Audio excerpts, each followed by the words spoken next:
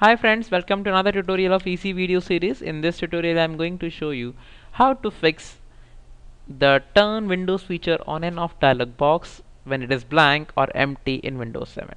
To do that friends, download the FixWin utility that I have given in the video description. It's a quite safe and a portable utility, just 529 KB.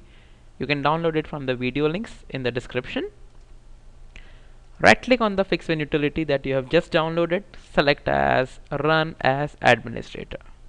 When the main window opens first I would advise you to strongly create a system restore point that will help you to restore your system to an earlier state in case something wrong happens which usually does not. Okay? Then come under system tools. Under system tools you can just say this setting. Fix turn windows feature on and off dialog box is blank or empty okay click on fix. The process is completed successfully. That's great news. Then finally close the software. It will ask you for a restart. I'm skipping this for the for making the video short. But you need to restart your PC to make any changes happen. That's it. Thank you for watching. Have a nice time. Goodbye